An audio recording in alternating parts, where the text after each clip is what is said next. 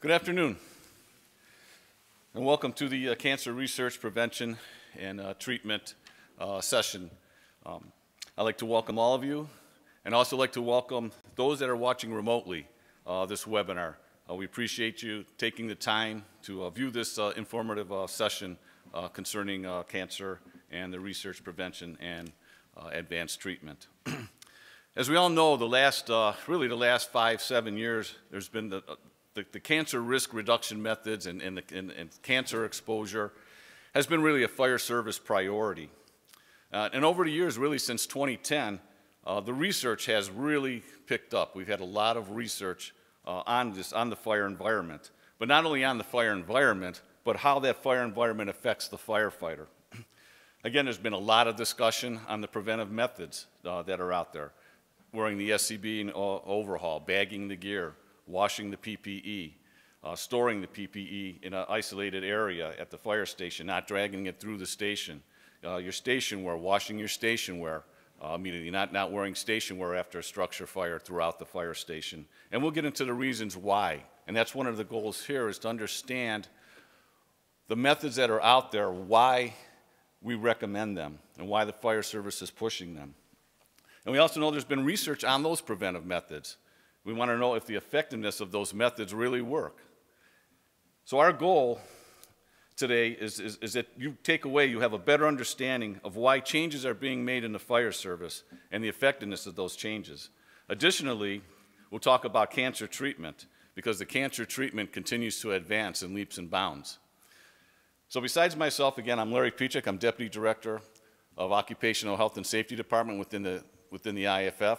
Our other speakers uh, Dr. Kenneth Fent from NIOSH, and Dr. William Flood from NantHealth. As you know, we all have the IAFF Fallen Firefighter Memorial, and that memorial is there to honor those that have died in the line of duty. And really, we're the only organization that accepts and, and, and respects those that have died from occupational diseases, including cancer. And our goal in the future is hopefully never to put another name on that wall and any, and any line of duty death. But most importantly, we really want to stop occupational diseases and hopefully no names in future generations uh, will have to put their name on that wall. when we look at our statistics, these are the statistics from January 2017 to December 2017, so the names going on the wall uh, this year. 74% of those names have died in line of duty from occupational cancer. Now, those numbers have, have increased this year, and the reason being for that is that the last two, three years, we've had more states add presumptive laws within their statutes. So the, so the number, the names, more names are being added to the wall due to the occupational cancer. But when you look at it over a 15-year span, really we're averaging uh, 63% of the names on the wall are from occupational cancer. Now, that most certainly sticks out, and that's most certainly an item that, that really reflects why we're doing the research and why we're trying to understand how this happens, why this is happening to us. now, to, what's the IAFF doing about this? First of all, we had, a, we had a firefighter cancer summit in San Francisco in October of 2016. And what we did is, is we reviewed the research. What was done? What does that research tell us? What is ongoing? And what do we expect from it? You know, what else do we need to know going forward concerning uh, firefighter cancers? And what else can be done for our firefighters? And this summit included IAFF leadership, physicians, researchers, epidemiologists, and, and, and firefighters from uh, large departments that have already done or been, or have been part of research, such as San Francisco, you know, Chicago, Philadelphia. and what we did is, is, and out of that came what we're going to hear from Dr. Flood is the, is the advanced treatment on cancer. Because what the general president wanted to do is he wanted a better understanding not only of what's going on, but he wanted to know what can we do out of the box to help our firefighters with treatment that's beyond the normal care. What can we do? We have to be in front of this. And that's, and that's what the summit produced. And also out of that summit, you know, we have a summit later this week, you know, for all the firefighters of the IAFF to, uh, to, to, to educate them to what's going on. the Firefighter Cancer Registry Act Right now, it's, it's uh, House Bill 931. It passed, uh, it passed the House and is currently in the Senate. It's in the Health, Education, uh, Labor, and Pension Committee. You know, our goal is to have this cancer registry. It's to establish a specialized registry for firefighters at NIOSH. And the idea is to consolidate and gather epidemiological information. And with this information, our public health researchers can take a look at, take a look at the actually true numbers of firefighters that may have, that have cancer throughout the United States. And it also will improve our understanding of the, besides the overall incidence, but what time the treatment is being conducted and how advanced that cancer is, along with the amount of exposure time. What are some of the exposures and the length of exposure? So uh, the goal is future generations down the road, they can take a look at this information and come up with, uh, again, more solutions, um, better to, you know, use this information for improving turnout gear, improving technology to protect ourselves even bit further. a firefighting, firefighter exposure tracking. One of the issues we, uh, we have, and, and, Dr. Fent will, will explain uh, later on, is that yes, we know we're exposed to this harsh environment. But what's not known is how does that exposure impact us? What's the length of the exposure? What's the time of the exposure? How much of the exposure? You know, what exactly of the, of the exposures that we're exposed to is impacting the human body? So in order to do that, you have to have an exposure, you know, we want to create an exposure tracking method. Now, there are some out in the field, you know, California has a, a system, there's some other systems up in the Washington State area, uh, some other private ones. But through a, through a grant and through um, the IAFF, we developed an exposure module within the NFORS system. Now, the NFORS project is the National Fire Operations Reporting System.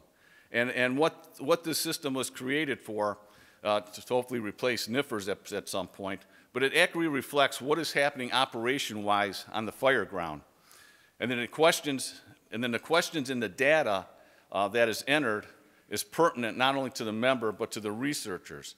So it, again, it's to replace NFIRS and really get into the data of what's going on, how long an engine's been on the scene, how long it's actually attacked the fire, how long it uh, was in rehab, and then the exposure model module for our firefighters in there. Uh, those, like I said, those questions were put together. We just want a data bank of questions. It was questions that were analyzed that the, uh, you know, the, the researchers said, these are the questions that we can use. But at the same time, you know, we'd have a number of questions that our members can use, especially if it's going filing for workers' comp or for uh, pension cases. So that module, again, is within the NFORS system, which is available uh, uh, for fire departments, and there are a, number of fire departments that are using the NFORS uh, model. Matter of fact, there's uh, the one booth out there. We do have some information on NFORS on the uh, fire EMS booth.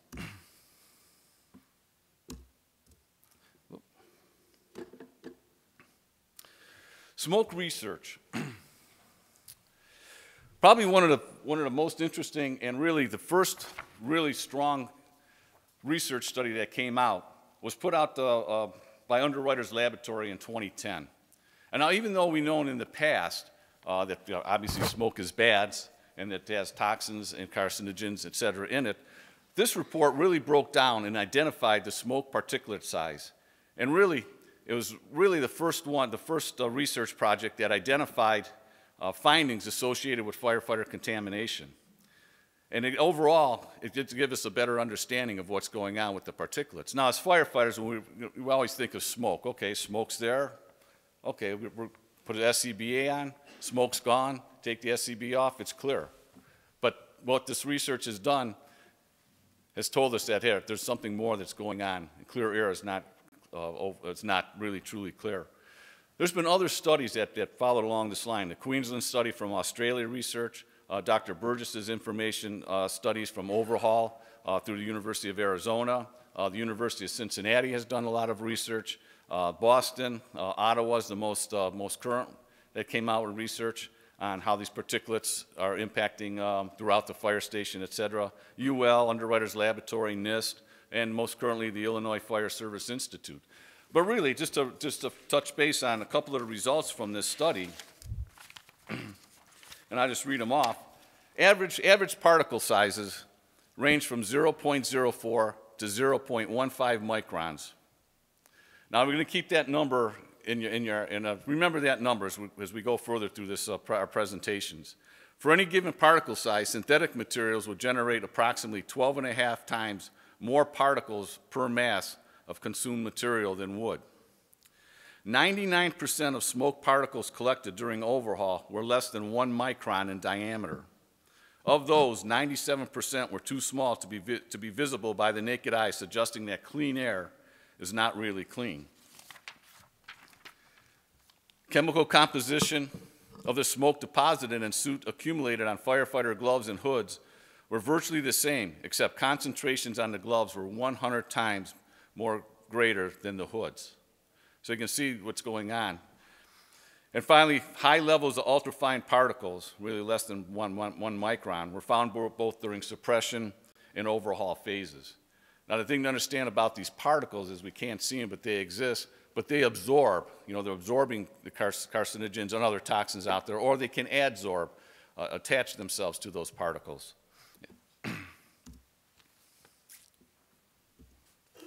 Another research project was actually done by Dr. Fenter, and he'll, and he'll explain this further, was the evaluation of the dermal exposure to PAHs and benzene. And really, this, this started off as a health hazard evaluation, which went into a, an actual research project. And this is the one that's, that, that started off that, hey, something's happening to our exposures that is affecting the firefighter. These, these H's, and benzene are entering our body and they took a look at, okay, why is this happening? And just reading just some highlights, highlights from that study, what they've done is they sampled uh, the poly, polycyclic aromatic hydrocarbons, which are the PAHs, the volatile organic compounds, which are known as the VOCs. They collected breath and urine samples before and after each burn. Um, they took wipe samples of firefighter skin to measure PAH contamination before and after each burn. They, they measured the VO VOCs uh, released from turnout gear, you know, to see if there is off-gassing. And, they asked, uh, and what they also is they tested the SCBA to make sure there was no flaws within the SCBA, the, the entire system, to determine that there was no intake of contaminated air. And what they found is, you know, PAH air levels were obviously above occupational exposures. Um, some of the VOCs released from the firefighters' gear after the fire, was after the, the response. Uh, the PAH levels on the firefighters' necks were higher right after the burns than before. The levels of benzene in the firefighter's breath were higher right after the burns than before. And then in the first round of their study, levels of the pH, PAH breakdown products were higher in the urine. So uh, what this really came down to is that, that the PAHs are entering through the skin, you know, with the neck being the primary site of exposure and absorption due to the lower level of dermal protection provided by the hoods. and that was important because that's where we talk about the exposures, the amount of exposures that we have, the time, what we're exposed to, is getting into our systems just by fighting a fire in that short amount of time. What else has been done with that is, is through that, after that study, is we took a look, the IAFF funded the fluorescent aerosol screening test, and I'm sure everyone has seen these pictures throughout magazines um, and other presentations. And what this showed here, because the Queensland, what they said in, in the Queensland research is it came out and said they found levels of contamination within their turnout gear and, and on, their, on their station wear. So they determined, well, how's that getting there? So you know when we're, we're, within a fire, it is pressurized, you know, with the smoke. So what this fast did is it measured, it, it, it did the same amount of, of pressure that you, you would have with the smoke within a structure, and we found a lot of weaknesses. Obviously, you can see the hood area, which we knew was the weakest because that's the thinnest one layer um, of Nomex or PBI material. But we also noticed, obviously, the, the, the, uh, uh, the connections at the front of the coat. It was the, the, the hip waist interface, the boot leg interface, and obviously the glove uh, cuff, cuff uh, interface that we're still getting the smoke and the particulates onto our onto our skin, but also onto our station wear. So when we talk about not walking around the station after a fire, and we talked about the size of those particulates that are getting underneath within our gear, you can see as we're walking around the station, these particulates can be deposited throughout the station. So with that being said, we've conducted a fire station dust study. Now, the first study was actually done by California uh, uh, Occupational Health. They did on 26 fire stations out in California, and they found, and it was based on, on what they were measuring were flame retardants, and they found out that there were high levels of flame retardants throughout these fire stations. So what we wanted to do is we wanted to get an understanding, you know, is this just uh, out there or is it common around the, around the nation? So there were five, five urban areas uh, uh, that were chosen uh, throughout the United States geographically different. And out of those, there was five or six stations from each of those five areas, and dust was collected from the fire stations. And lo and behold, you know, all of the fire stations have higher levels of flame retardants in the dust uh, throughout their fire stations than you would see in a normal residence and when you see in an, in an office building and other occupations. So we are dragging, you know, dust around. and, it, and by those studies, uh, it helps us identify and control sources and come up with the methods uh, to stop that spread. Now, we're also conducting this study right now. It's being conducted in five cities throughout Canada. So we can see if we get the same measurements uh, up in Canada. What's interesting in Canada, you know, in, in the U.S. fire stations, uh, we have a lot of carpeting. Uh, in the Canadian stations, they do not have a lot of carpeting. Uh, they have the solid floor. So it'll be interesting to see how much dust um, is in existence at, at, at those stations. So in a 3,000 foot view, you know, what is cancer? It's really damaged DNA. It's abnormal cells. Something, something damaged that DNA, which causes the cells to divide without control. It's uncontrollable growth. And it spreads and invades other tissues. We have malignant, which is, which is not a cancer, benign, not a cancer, tumor cells that grow only locally. And then you also have malignant. That's where the cells grow and then they spread throughout the body. Well, what causes it? It can be caused internally by genetic factors, or it could be caused by external factors, which is where we're more concerned about the external factors. Now, remembering the size of those of these of, of the particulates, you know, whether it gets absorbed or inhaled some way, you know, that gets into our system. Now, it stays in that system, and it may attach into a, onto a cell, and it may stay there. Normally, every day, our bodies work hard to get rid of the toxins within our body. But as a firefighter, you know, and synergistically, a lot of those toxins may stay there, and it may cause the cancer. And it's probably showing that because we do know we have higher rates of cancer among firefighters in the United States. And we have a lot of different cancers, and cancers occurring at earlier ages. As we know, IARC, the International Agency on Research on Cancer, uh, groups, groups uh, and identifies, classifies uh, uh all your chemicals. Now, there are hundreds of thousands of chemicals in existence, and not every one of those chemi uh, chemicals actually has a classification because there's so many. But we're concerned about group one carcinogen, carcinogens, which is that particular chemical is carcinogenic, carcinogenic, which is example like benzene, formaldehyde. Uh, group two, probably carcinogenic. Uh, they're showing that animal studies and some human studies will show that, yes, it has an impact on the human body uh, but they're not exactly, they can't exactly, there's not enough research to say it truly does cause cancer. Possibly carcinogenic and then not classifiable and probably not carcinogenic in hu humans. But, some, but they also identify some occupations.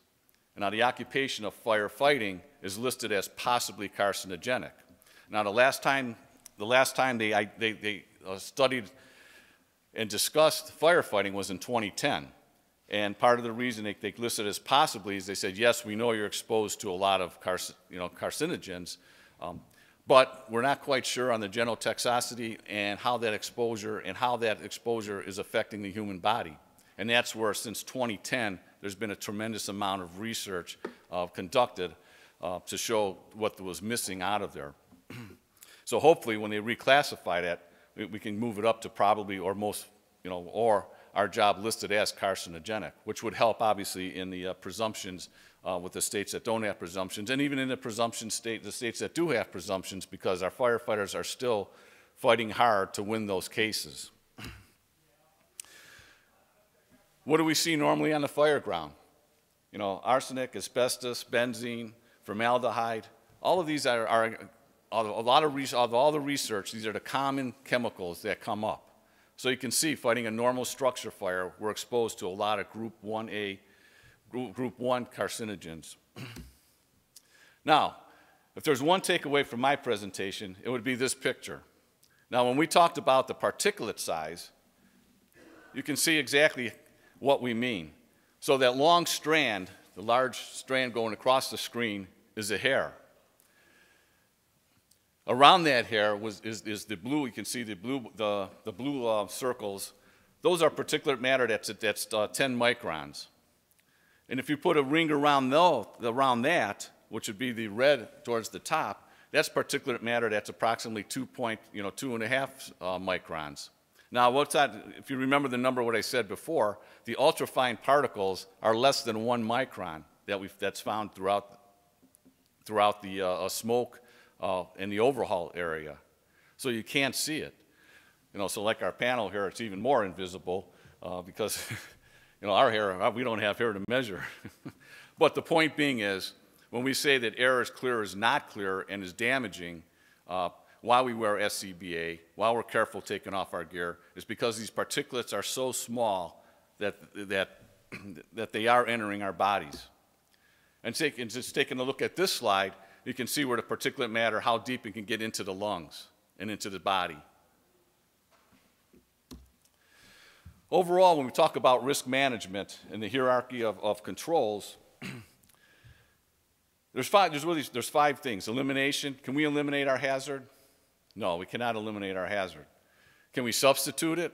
No, because we fight fire and that's the products of combustion. Engineering controls. Well, yes, we can help isolate people from the hazard. We can set up SOPs. Administrative controls, same thing, creating SOPs or changing the way people work. And then the PPE. As you can see, the PPE is the least effective method, but that's our greatest protection is PPE. So that's why the, the, culture, and we're saying we have to change the methods, the methodology of what we're doing on the fire ground to wear SCBA longer, to change the SOPs, to have cut teams, uh, cleanup teams that can come in and do overhaul after, you know, other, the crews that have been fighting the fire are already, you know, exhausted and their, their gear is already contaminated and and we have different crews coming in so, they, so they're, they're fresh. Because what's the first thing we want to do after a fire is take off that air pack. I just want to bring, uh, bring note that we do have a cancer awareness and prevention online course on our website. Uh, it, it, goes a little further in, into detail what we just talked about, so please take the time uh, to take a look at that uh, cancer awareness and prevention course. Now, mine was a 30,000 foot view um, of, of what's going on in the fire service and what we have been doing. But really, the, we talk about the research that has been taking place, and Dr. Kenneth Fent uh, has been uh, really the, the, foremost researcher uh, working on firefighter contamination and firefighter exposures. Dr. Kenneth Fent obtained his Master of Science and doctoral degrees in Environmental Sciences and Engineering from the University of North Carolina at Chapel Hill. He joined NIOSH in 2008 you know, where he currently works as a research industrial hygienist. He's also commander in the U.S. Public Health Service, where he is a member of the Rapid Deployment Team and has responded to numerous emergency events, including the Ebola response in West Africa. Uh, Dr. Fent's research um, has focused on assessing dermal and inhalation exposures to the combustion byproducts in firefighters. Uh, currently, he's involved in a comprehensive study of cardiovascular and carcinogenic risk during modern firefighting in collaboration with the Illinois Fire Service Institute and the UL Fire Safety Research Institute, and a prospective firefighter cancer cohort study in collaborations with the University of Arizona and the University of Miami. Uh, please welcome Dr. Kenneth Fent.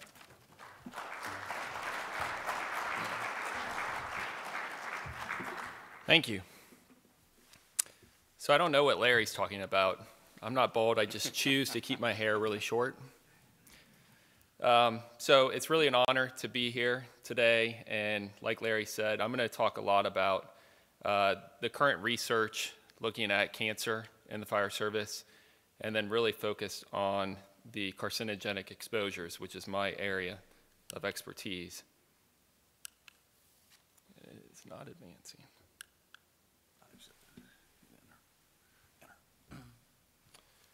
Okay, so for the outline for today's talk, I'll, I'll start with the, the cancer risk. So how does firefighting increase your risk of cancer? And then really look at the, the different ways that firefighters can be exposed on the fire ground including breathing it in and absorbing the contaminants through the skin. We'll talk about recommendations for reducing exposures and then ongoing or and future research that we are involved in. So there were a number of studies that were done really within the last like 30 or 40 years going back, uh, which we would call the early studies of firefighters and cancer. And these studies did find increased risk of a number of specific types of cancer for firefighters. But the problem is these studies were relatively small studies. They were looking at firefighters in specific geographic locations. And one way to measure the, the size of a study or the, the power of an epi epidemiology study is person years at risk, or PYAR. And just to put this into perspective, these studies were, you know, or the NIOSH study that was done, that I'm going to talk about here in a little bit, was anywhere between 4 and 20 times larger than these studies. And if you look at these early studies and you look at the standard mortality ratio for all cancers, so that's all cancers grouped together, some of these studies do find an increased risk. So the point estimates are shown in, with the blue dots. Anything larger than one means there's an increased risk of cancer. And then the error bars, if those error bars are larger than one, meaning the, the entire error bar is above one, then it's statistically significant. And most of these studies were not statistically significant, but part of the reason for that is that they were just too small. You didn't have enough power to actually detect a true difference. When you do an epidemiology study, you have to have a comparison group. So in a perfect world, we would have firefighters with exposure and compare them to firefighters without exposure. But obviously, that's impossible to do. So what's done instead is we typically will compare firefighters to the general population. The problem with this approach is that firefighters, especially career firefighters, tend to be healthier than the general population. And so you get what's called a healthy worker effect.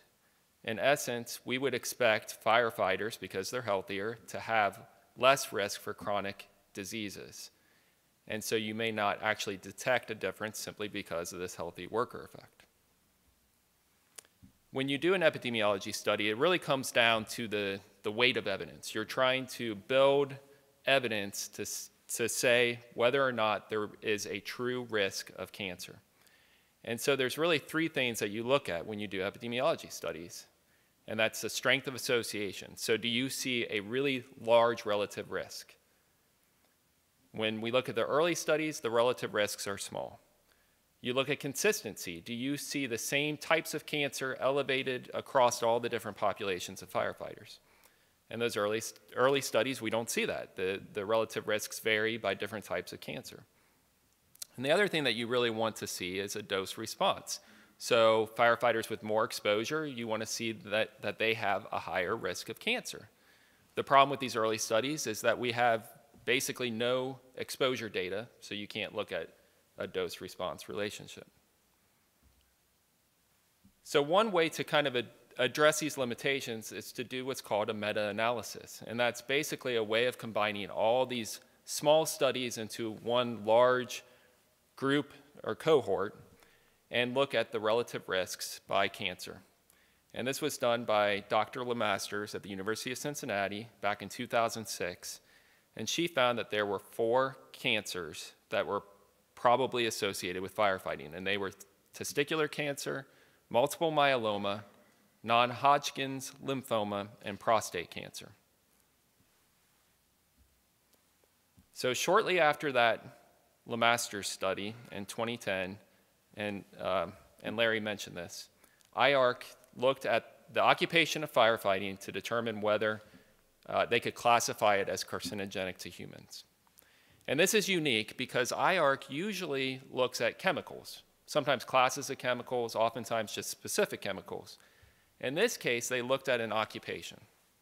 And this is really challenging, especially with firefighters, because you're all over the country, you're all over the world, your exposures might vary, the way you fight fires might vary.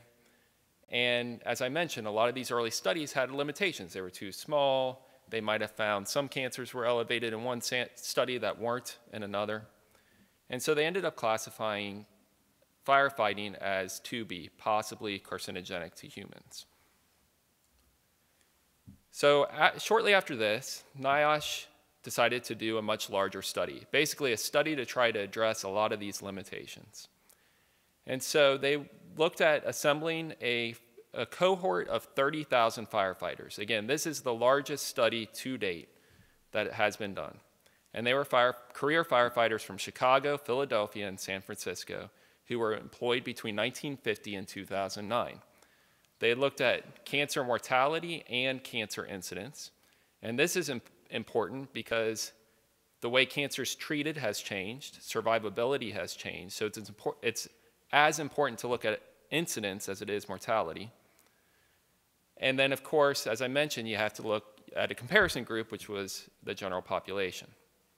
The other nice thing about this study is they also were able to look at trying to estimate what exposures firefighters had and then examine a dose response relationship. And as I mentioned, so, you know, firefighters are presumably healthier than the general population. So if you look at the uh, death by all causes, we see no increased risk for firefighters. And so this would suggest that in, indeed, you know, the general population is a good comparison group, or there is this healthy worker effect. If you look at COPD, which the primary cause of COPD in the United States is smoking, we actually see a reduced risk. So anything less than one is a reduced risk for firefighters. But if you look at all cancer, then we see there's an increased risk of about 14% from dying of all cancers. So what does a 14% increased risk of all cancer mortality mean? Well, unfortunately, cancer is a very common disease in the United States. And so there's about a 23% risk of dying from cancer in the United States. So if you look at this room right now, you take 100 people, unfortunately, 23 on average will die of cancer. However, since you guys are all firefighters, there'll be three additional people who will die of cancer due to your occupation of firefighting, your exposures. So I don't want to diminish what that number means. Three out of 100 is still a lot of cancer. When you think there's 1 million firefighters in the United States, that could be that could add up to 30,000 firefighters who die of cancer due to firefighting. So the other cancers are due to other risk factors like diet and smoking and your you know, uh, exercise and those kind of things. So for the NIOSH study, they also looked at specific types of cancer. And they found that there were seven that were statistically significant, shown by the red dots. And those were mesothelioma, rectum, oral cavity, esophagus, esophageal, intestine, kidney, and lung cancer. And the mesothelioma is important because the only known cause of mesothelioma is asbestos exposure. So this is known as an occupational cancer. So we can say with pretty good confidence that this is due to your occupation of firefighting. The NIOSH study was also able to look at risk differences by age. And so cancer typically affects older people, but if you look at uh, firefighters at younger age groups, so uh, in this case, 40, looking at prostate, 45 to 59, we see an increased risk of developing prostate cancer among younger firefighters. Same thing with bladder cancer. The NIOSH study was also able to look at women and minority groups. Now, women, there, um, there are not that many women firefighters in the United States, and so even though this was a very large cohort, the sample size for women is still pretty small. But you can see that there appears to be an increased risk of bladder cancer for female firefighters. We need to, as Larry mentioned, if we can do this uh, firefighter cancer registry, we can greatly increase our statistical power, and maybe this is a true effect. Looking at minorities, we see an increased risk of prostate and leukemia among minority males. As I mentioned, we were also able to look at dose response relationships. And this is really important if you want to try to establish uh, you know, the weight of evidence for causality, you need to have a dose response, see a dose response.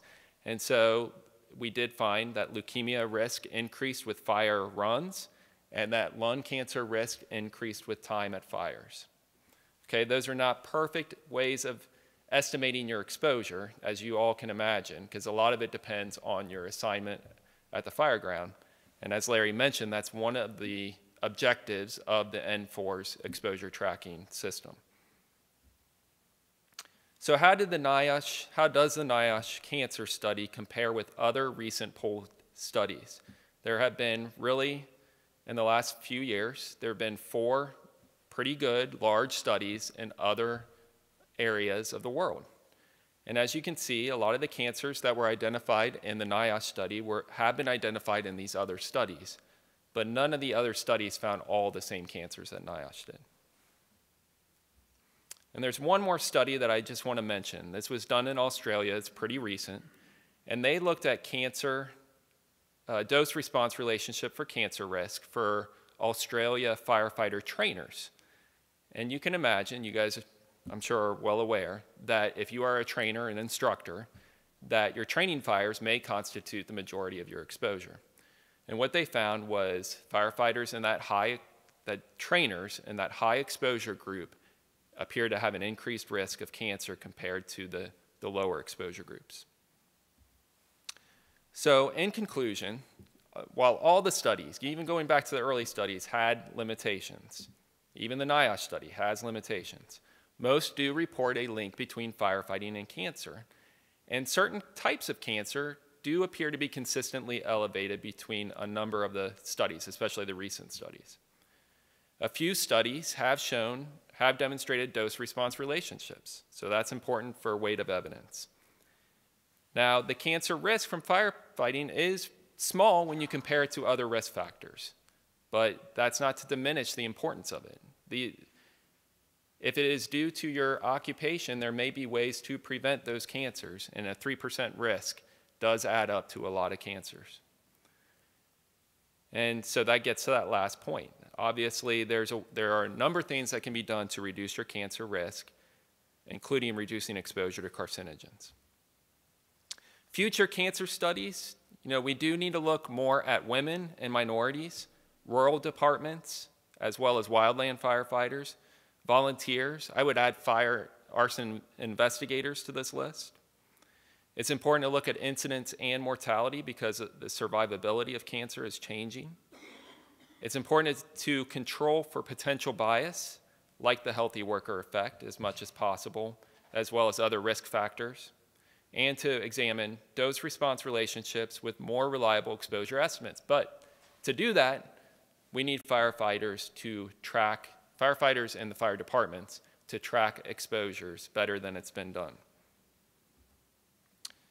So now I'm going to um, delve into the area that's really my area of expertise, and that is the exposures. So we, we see that there is, appears to be an increased risk of cancer in firefighting. Why is that? So it's important to look at the entire pathway. So that includes the source, where the chemicals originate from, the composition, what exactly is in the smoke, how they contact the body, the intensity and duration, how they enter the body, the absorption route, and, but what's really most critical is the dose, how much is actually absorbed into the body. So it's, it's no secret that the structures today have a lot more synthetic materials than they used to have. And this includes polymers like foams and plastics, resins, surface coatings, as well as chemicals that are added to our, our furniture and other pieces like flame retardants, stain resistant coatings, and plasticizers. Because of all these synthetic materials, modern structures burn much faster today than they did in the mid 20th century. And a good example of this is, a, is some work that UL did, where they found that structures today can go to flashover in five minutes versus 30 minutes with a legacy structure. And with, because of all those synthetic materials, there are many more toxic combustion byproducts that are produced. So, if you look at the literature and some of the other materials that are coming out from IAFF and others, you'll see some of these chemical class names PAHs, VOCs, aldehydes, acid gases, and so on. And it's important to note that no matter if you burn anything, if you're at a campfire, you're going to produce some of these compounds. You're going to produce PAHs and VOCs and aldehydes and acid gases. When you add the synthetic materials, you're going to produce a number of other chemicals like phthalates, for example, PBDEs, which is a type of flame retardant, dioxins and furans, organophosphate flame retardants, and then, of course, your apparatus run on diesel, right? So you also have diesel exhaust. And as you can see in the right column, that there are a number of potential health effects from these chemicals, but many of them are known human carcinogens. So how did these chemicals contact the body? Well, it's, it's a rather complex it's a rather complex process for firefighters. Obviously, when, these, when you burn something, it's going to be released into the air, some of it. It's going to change because of oxidation and other processes. It can then deposit onto surfaces, including your turnout gear. It can penetrate your turnout gear and get onto your skin. When you're taking your turnout gear off, it can transfer to your skin. If you're not wearing your SCBA and you're near the smoke, you can breathe it in. If you get it on your turnout gear and you get into your apparatus, what do you think can happen? It can then transfer to the apparatus and all the way back to your fire station. So it's not just the the fire ground that we're worried about. It, it extends beyond that. So if we start with PP contamination, there have been a number of studies that have found PAHs, phthalates, flame retardants, metals, heavy metals, those have all been found on turnout gear. PAHs and flame retardants have also been measured on Nomex hoods. And we actually did a study that's uh, in review right now, the paper.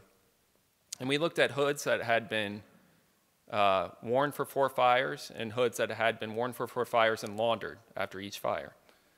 And we found that the laundered hoods, although it clearly looks cleaner, right, that picture up there, that we still found that there was residual, residual contamination of things like flame retardants, brominated flame retardants, even after laundering.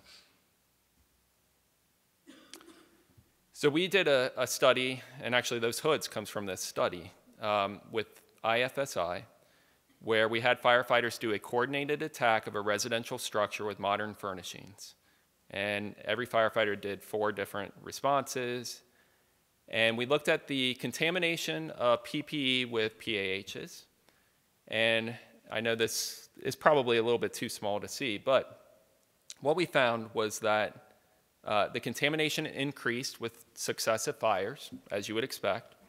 And then the contamination differed by position on the fire ground.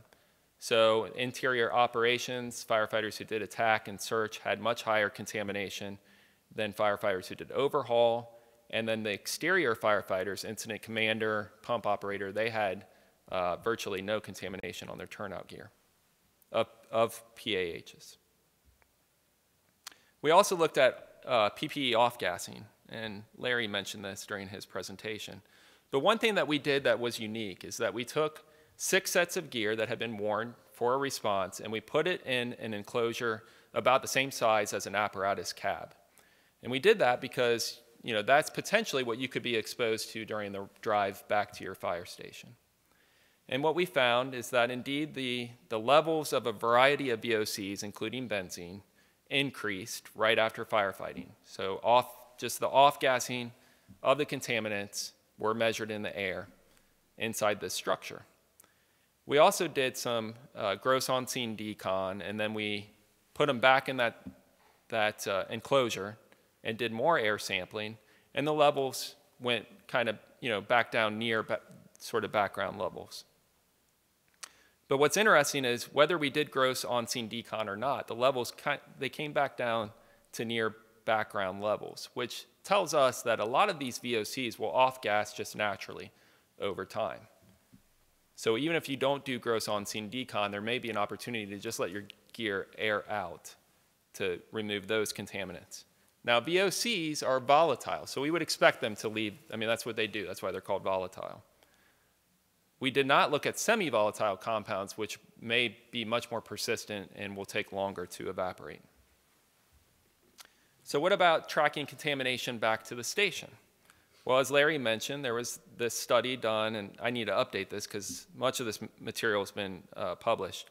But they looked at flame retardants in fire station dust, compared it to other occupational settings, and found that fire stations had higher levels of a number of the congeners, including brominated flame retardants and organophosphate flame retardants as a class. Now, the intensity and duration, as you, as you know, firefighting typically is a pretty short process compared to an eight hour workday, for example. But the exposure levels are very, very high.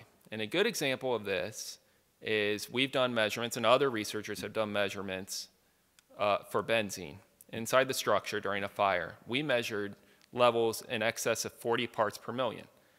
To put this into perspective, the NIOSH short-term exposure limit is one part per million.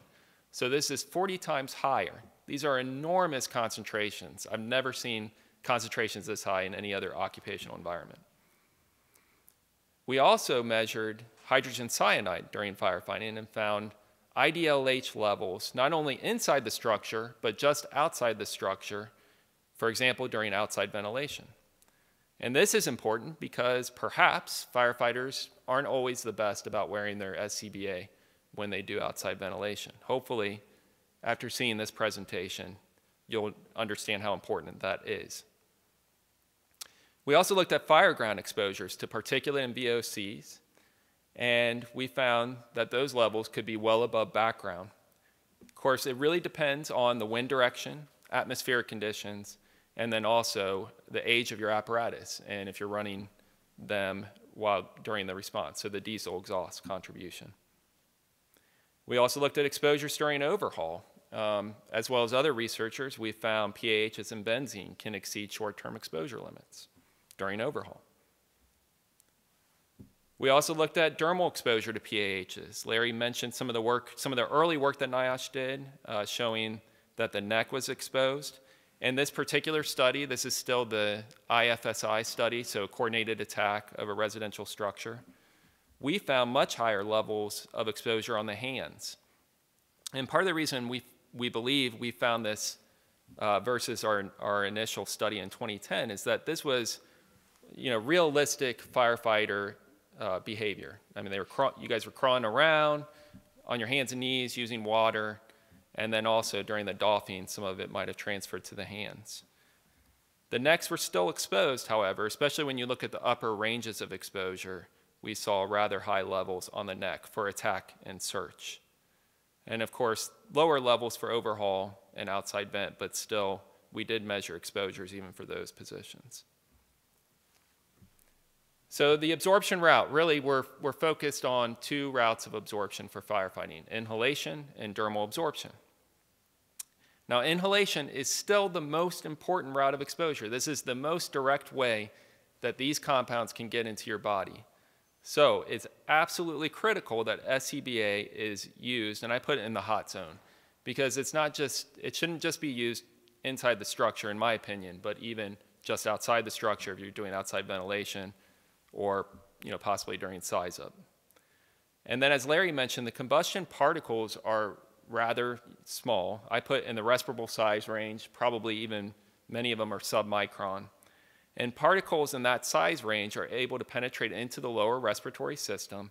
And this is important because your clearance mechanisms are much less effective in the lower respiratory lungs, and you can get inflammation as well as rapid absorption of those compounds into your bloodstream. Now, as inhalation exposure is better controlled, dermal absorption becomes more important.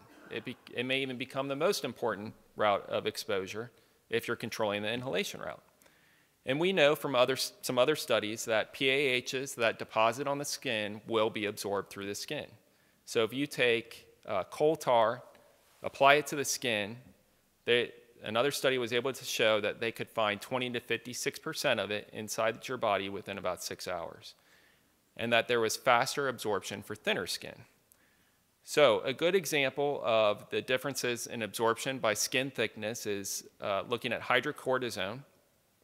And if you look at the jaw angle, which is, of course, an extension of the neck, it's about 93 times more absorptive than the plantar foot arch, which is the thickest part of the skin. And then, of course, this is the, uh, the picture of the FAST study where you see a lot of the exposure happening on the neck. Now, some VOCs, which VOCs will be primarily in vapor form during firefighting, those can actually be absorbed directly through the skin. So it's not necessarily that they have to deposit, they could actually be absorbed uh, in vapor form through the skin or condense on the skin and then be absorbed. And there's been some studies that have shown up to 1% of benzene vapor can be absorbed. Now that sounds like a small amount, right? But I just talked about how enormous the concentrations of benzene are during firefighting.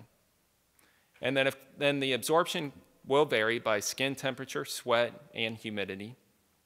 And there's one animal study where they actually took benzene, applied it to the skin of a monkey, and they were able to measure it in the monkey's breath within 30 minutes, which is about the same time that we have measured benzene in the breath in firefighters. Now, as I mentioned, the most important part of this exposure pathway is the dose, what actually is absorbed into the body. You can be standing on a, on a pool of chemicals, but if it doesn't get into your body, it's not a hazard per se.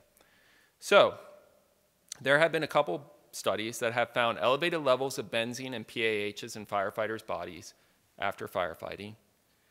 There's also been some studies that have found elevated levels of flame retardants in firefighters' blood and urine compared to the general population.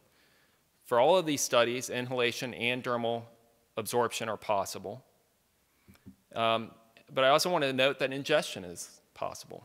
Okay, so we focus so much on inhalation and dermal absorption. But if your, your hands are contaminated and you're at rehab and you're eating, you can also ingest some of these chemicals. And I just showed this, uh, this figure here, which shows benzene in breath, uh, where we measured it before firefighting after, so post firefighting, and then six hours later. And for the most part, we see an increase in benzene and breath. And these were firefighters who wore SCBA the entire exercise, so the inhalation route should have been well controlled. So, what can be done? I feel like I presented a lot of like bad news, but I promise you there are some simple things that can be done to reduce your exposures. Obviously, the first one is wear SCBA. You should wear it uh, during the, the response, but also during overhaul. Outside ventilation is important too. I say establish hazard zones. I know it's kind of a new way to think, but in hazmat, it's the way, it's, the way it has been done. Um, so if you have a hot zone and firefighters know SCBA in the hot zone, that, that makes managing the response much easier. Set up command upwind if possible. That will certainly lessen the exposure for the, the command personnel rehab away from used gear because of the off-gassing, transport contaminated gear in an encapsulated bag. And then if you have diesel exhaust filtration on your apparatus, that'll help at the fire scene. And if you have capture systems in your station, it's important to use it there as well. To reduce dermal exposure, this is sort of a new one for me, but I think it's really important that firefighters remove their gear to minimize the cross contamination. And IFSI has done some recent videos uh, to show the difference. I don't have the videos here, but this is a picture of just being careful at removing your hood, what a difference that makes, left versus right. And the same thing with the hands. If somebody else removes your gloves, and I know that's not always practical, it makes a tremendous difference on how much soot gets on the hands. But even if you get soot on your skin, there is an opportunity to remove it. Wash your skin with soap and water if you have that available. If not, use skin cleansing wipes. It's important to decontaminate and launder the turnout gear, including hoods and, and gloves. And then it's important to shower as soon as possible. The last one I put uh, these new barrier hoods, the particle blocking hoods. I put some question marks there because I think we do need more research. Theoretically, those should reduce exposure to particulate, but we really need to see the science behind it. So how effective are some of these control interventions? we did have an opportunity to look at some different types of gross on-scene decon, an air-based method that used a modified uh, electric leaf blower, a dry brush, just brushing off the gear. The advantage of those two methods, obviously, is the gear doesn't get wet. And then a wet soap decon, where it's essentially wet decon, but we added a, uh, a pump sprayer that was filled with a soapy water mixture, and we scrubbed, and then we rinsed. Each of these took about two to three minutes to do. And what we found is that the wet soap decon method was substantially more effective than the, than the dry decon methods, where we were able to show about an 85% reduction in PAH contamination on the surface of the gear. How about the skin cleansing wipes? We actually had an opportunity to look at these as well. So we sampled half the neck for PAHs, had firefighters clean their entire neck, and then we sampled the other half of the neck. It's not a perfect study design, but it was a way to at least get some initial numbers on this. And we found about a 54% reduction in PAH exposure just by using these. These were just commercial baby wipes, very inexpensive. We've since looked at some of the uh, wipes that are specifically made for firefighters, and we're currently analyzing some of that data as well. So some ongoing work listed here.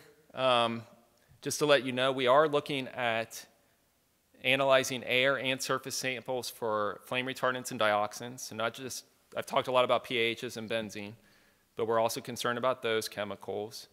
We're looking at what's got, what for the IFSI study, what actually got into the body.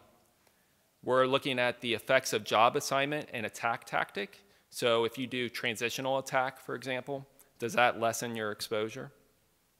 We're exploring exposures among instructors. We're evaluating the protection of turnout gear, including barrier hoods as well as regular Nomex hoods, after repeated exposure and laundering. So if you're a progressive fire department, you may have started laundering your gear after every fire response. And that's great. But that might mean gear that used to get washed or laundered two times a year is now being laundered 10 times a year or more. So how does that affect the protective properties of the gear? We're studying that right now with IFSI. We're actually going to have an opportunity to evaluate the IAFF NFORS exposure module. So this is a great tool that firefighters can use. It's available now to track your exposures. It's your personal exposure record. What we want to do is actually combine that with quantitative exposure monitoring to, to essentially validate the exposure tracking app, to put real numbers behind it. And then ultimately, we want to develop an evidence based job exposure matrix. This is what epidemiologists use to do really robust dose response relationship analysis. And it's what's, what is lacking right now in the fire service. So I just want to acknowledge that this research requires an army of researchers from all over the country. It also requires funding. Um, so I have the funding agencies up here.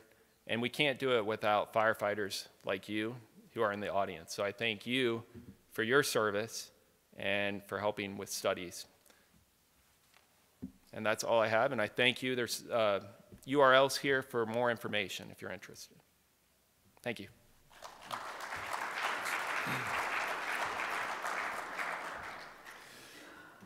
Thank you, Dr. Fent. As you can see, you know, you better, hopefully you have a better understanding of why the preventive methods that have been being published and, and, and educate to all our firefighters why that is, why we need to do that. Because of the exposures, the size of the particulates, and how that's are spread throughout our apparatus and back to our fire stations, and unfortunately sometimes uh, back to our homes. Now I want to take a different route and talk a little bit about advanced treatment. Scientific advances have, uh, have broadened our understanding of how cancer forms and grows, you know, on the molecular level. Um, this deeper knowledge has ushered in really a, a new era of precision cancer treatment, uh, where the personalized treatments target the abnormalities that may, may be found in each tumor's DNA profile. This genomic tumor testing is, is a tool uh, to assist oncologists and treating physicians in prescribing those targeted, uh, targeted treatments and therapies to control that abnormal cell growth and the rapid uncontrolled cell spread, which is the cancer. GPS, or genomic proteomic spectrometry, is a more progressive approach that matches results uh, with the treatments. As I said earlier, we, we, when we had our uh, initial cancer summit, we, uh, the general president wanted to uh, reach out out of the box a little bit, uh, take a step forward. What can be done for firefighters than the normal treatment? What can we do to hopefully help put these cancers in remissions without waiting years down the road? And that ended up with a uh, working relationship uh, with NantHealth. I'd like to introduce Dr. William Flood. Uh, Dr. Flood's the chief medical officer at NantHealth, and he was named one of the best doctors in America. Uh, Dr. Flood is a member of the Thoracic Committee and the Head and Neck Committee of the Eastern Cooperative Oncology Group, one of the largest clinical trial research organizations in the United States. He's also a participating member of the Radiation Therapy Oncology Group, which is the world's largest radiation treatment group. Uh, Dr. Flood's a faculty member was a faculty member at Penn State College of Medicine, the Hershey Medical Center, uh, where he cared for patients with aerodigestive malignancy. Uh, I'd like to introduce and welcome uh, Dr. William Flood. have to use the enter button. Well, thank you very much uh, for your uh, very kind uh, introduction. Uh, and thank you for having myself and my colleagues from NantHealth here to both to speak to you at meetings like this, but also to present to you on a more individual level more details about our GPS cancer. In, in his introduction for today, Larry mentioned that we're you know, talking about new improvements in the treatment of cancer. And uh, I can tell you that on the treatment side of cancer, the news is good. Uh, uh, I think it was about five or six years ago, that the um, death rate or the, the, mortality rate associated with cancer uh, actually peaked and turned so that more people are surviving uh, cancer uh, than uh, ever have before. And I think that that is a function of two things. Um, one is that we do have improved treatments. And I'm going to talk about some of those improved treatments in a little more detail, but still not too much detail in, in a few minutes. Probably the biggest effect on what's improved our survival rates on um, the curability of cancer and survival of cancer is the fact that we are now finding cancers in earlier stages than we did in the past. And that's um, typically through um, a process called screening. Um, you know, uh, the illnesses that we typically think about that we as uh, adults should undergo routine screening for uh, include breast cancer in um, uh, women uh, undergoing mammography and self-exam. Um, all people, men or women, undergoing colonoscopy on a regular basis, typically at the age of 50, unless we have earlier risk factors. Um, for the men in the audience, um, there's some debate about whether prostate cancer screening improves outcome or just finds earlier.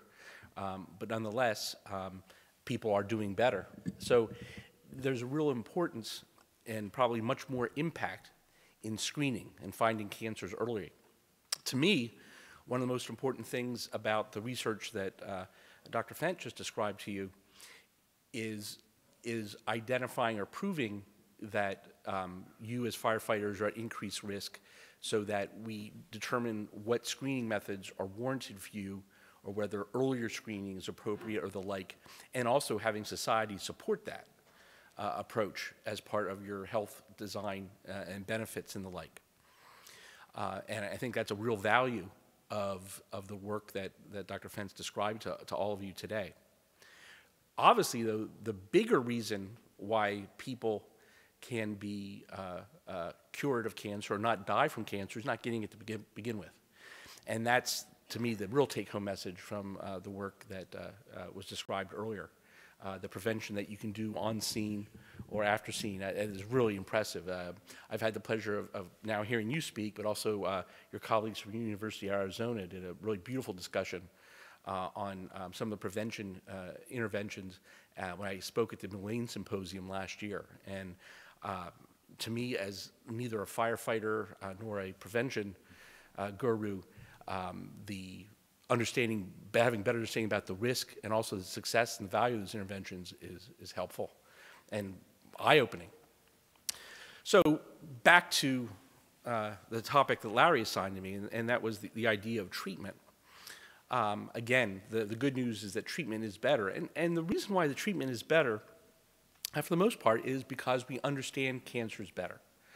Um, we can now uh, understand the actual biology of what happens inside a cancer cell much better than we could before. And, and we do that typically by looking at the molecules that drive the behavior of a cell. Um, the problem with those molecules that drive the behavior of the cell is that they are frequently targets of the very chemicals that you just saw uh, in the earlier discussion.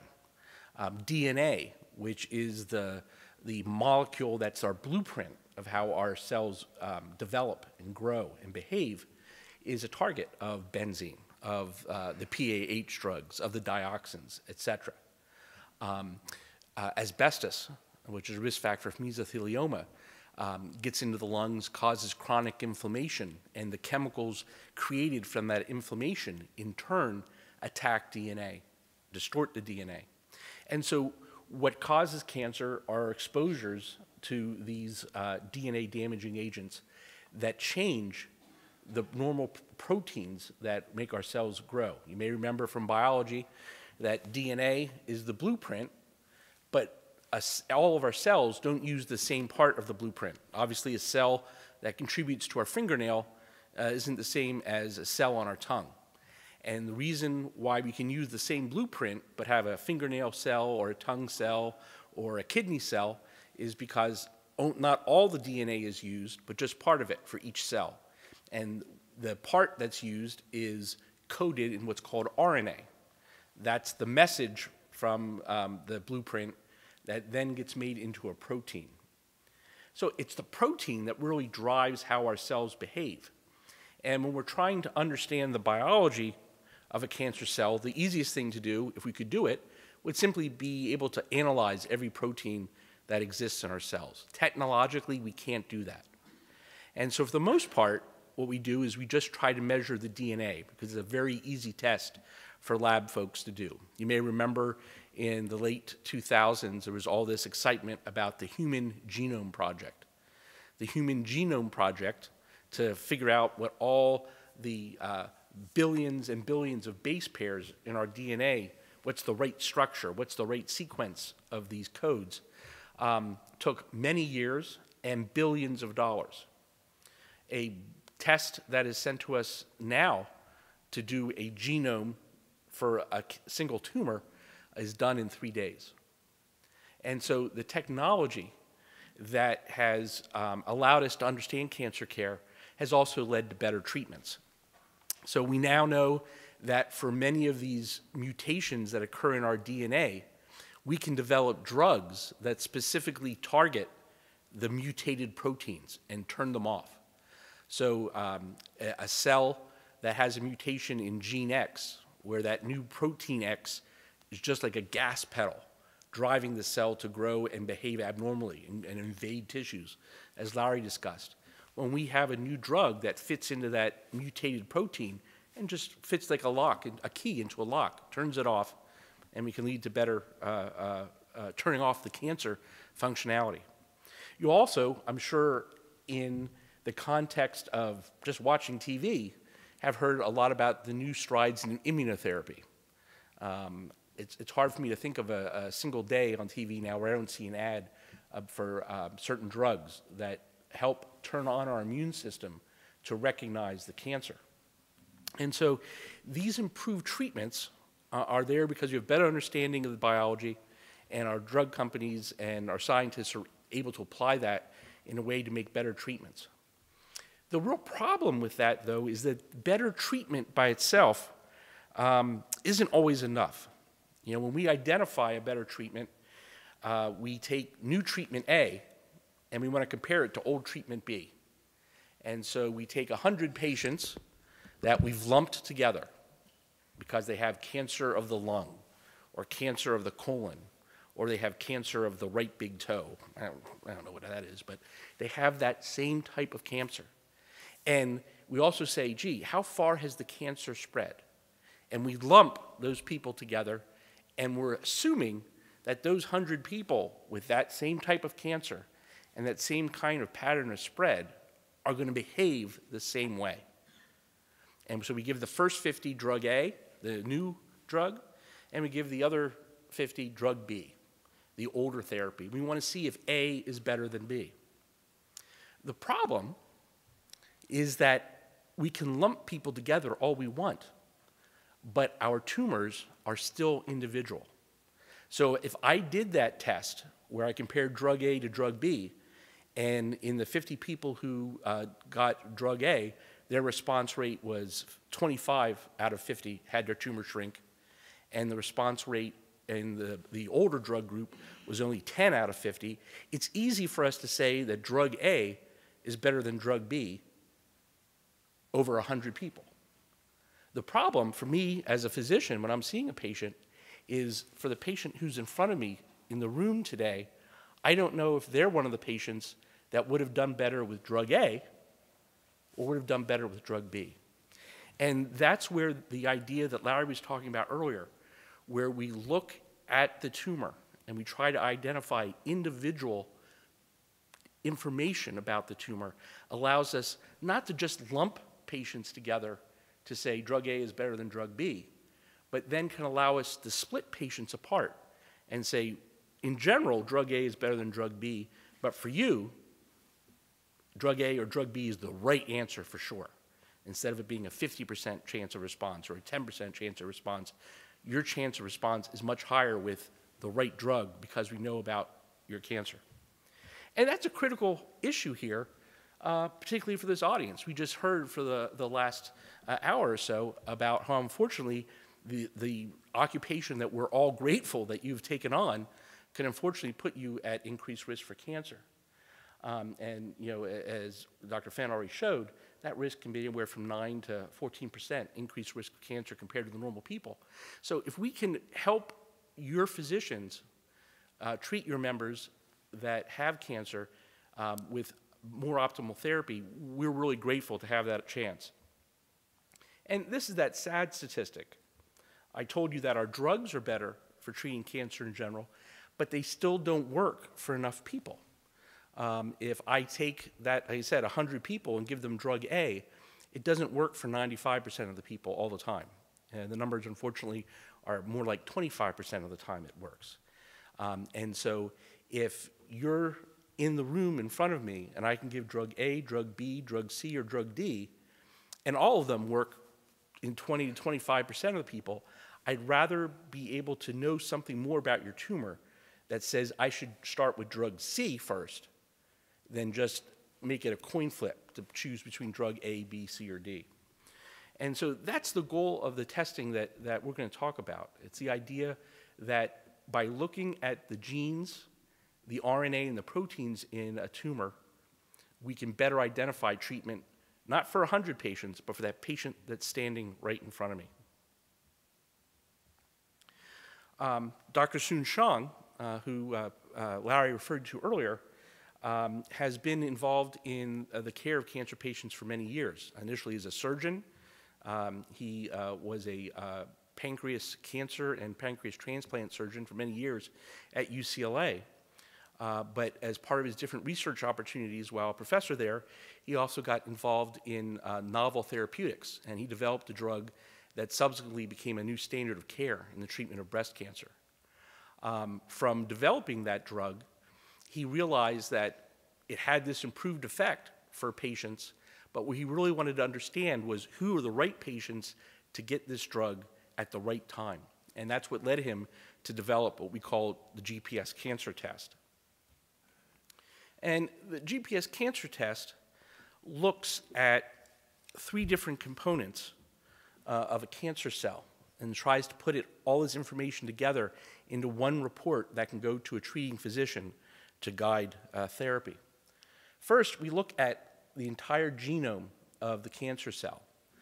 Um, that is about six feet of DNA that we try to look at, and we it can look at in, this, in the space of three days.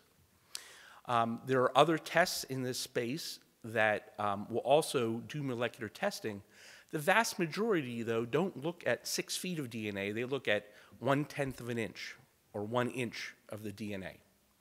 Uh, on the other hand, we look at all six feet. More importantly, though, than how many genes we look at is the comparison we make. Uh, Dr. Fent alluded earlier to that. If I'm comparing, if I want to figure out if firefighters have an increased risk of cancer, I have to know what I'm comparing it to. And so I, he said we could try to compare you to the general population. Well, most of the time, when we compare the tumor's DNA structure or its DNA sequence, most people or most companies compare it to some universal normal genome. It was determined by people from all over the world who said, this is what every human being looks like. Well, that's not the case. I don't know who that person is, but I'm sure his mom and dad weren't mine. And so there's no doubt that my normal DNA is different from that person's DNA. So there's no way my tumor will look like that person's normal genome. And the, the hazard or the problem there is that too many, too often, the mutations that are identified by comparing to someone else are, are incorrect. So up to uh, a third or two thirds of the time, a test that says there's a mutation at this spot or that spot, it's not a real mutation. It's a mutation just because the patient who had the tumor has a different set of parents than the patient, they, the person we compared him to.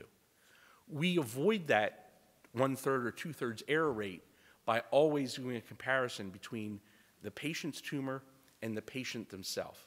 And that's critical in making sure that we're identifying the best targeted treatment, or when we're looking at these drugs that turn on the immune system, identifying the best patients who will respond to immunotherapy. Second, we don't just look at the DNA of the cancer cell, we also look at the RNA. Because not every gene in a cell is turned on all the time. You know, how does our cell that makes our nail, why isn't it a kidney cell? Well, it's because part of the genes are turned on and part of the genes are turned off. The same thing is true in a cancer cell. So we may detect a mutation, but it doesn't mean it's turned on. And if you're going to target a mutation with a drug, it better be one that's turned on. Otherwise, you're taking the drug and having the side effects, but there's no chance for it to benefit. So, in addition to looking at the 20,000 genes across the six feet of DNA, we also look at the 200,000 pieces of RNA that end up coding for the proteins in our cells. So, for those reasons, when we're talking about what we call precision medicine, we think our test is truly the most precise. With good DNA information, with good RNA information, we can identify targeted therapies or immunotherapies for probably 10 to 15 or 10 to 20% of patients that probably offer a better outcome than that's associated with standard chemotherapy or, or picking chemotherapies just by going down a list.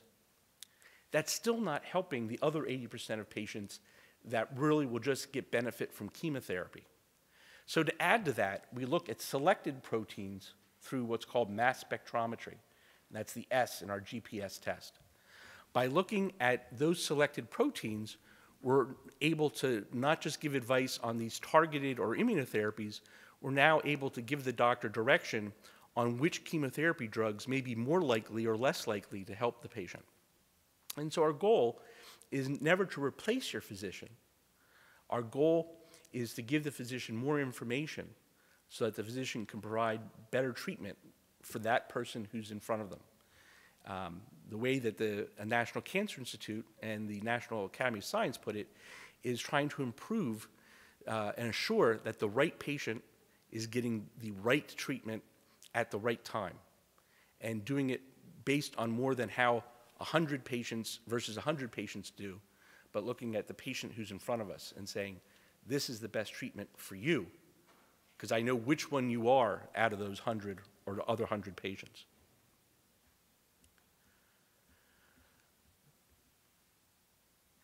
So with that, um, I'd like to thank you again for having us. Uh, and more importantly, I want to thank you very much for the job that you do. Uh, Again, all of us at NantHealth are grateful for this opportunity uh, to help your membership. Uh, You've taken on a job that's uh, at risk for cancer, and we're eager for the opportunity to help any of you that are unfortunately are diagnosed with that illness to get the best possible treatment at the right time. Thank you.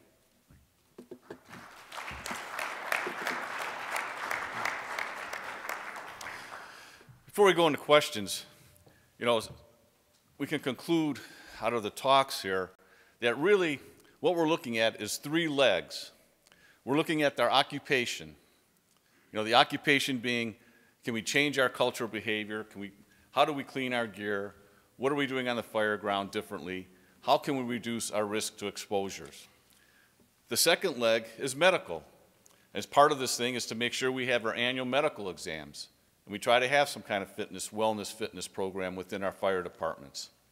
And the third leg, if you heard it, the third leg is what can we do as our own selves? Just recently, I believe the American Cancer Society said almost, uh, uh, I think it was just a couple months ago, approximately 30% of cancers can be, provide, can be prevented just by, just by self, self uh, changing your, yourself um, um, no smoking, you know, better diet, uh, uh, moderation of alcohol.